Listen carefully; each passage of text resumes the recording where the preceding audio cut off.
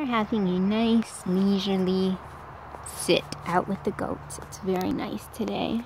It's like 70, I think, and it's nice and cool and not humid. Byron and Shelly are chewing on some stuff. Keats, I think, is behind one of those trees. And Fair is out here drawing. Drawing in the goat area. And I am just... Hello! I am sitting on the steps to the shed. Our neighbor is doing some goddamn thing over there in his shed. It's very peaceful. But where is the smallest son? Oh, there he is. Yep, there he is. They're all out there foraging.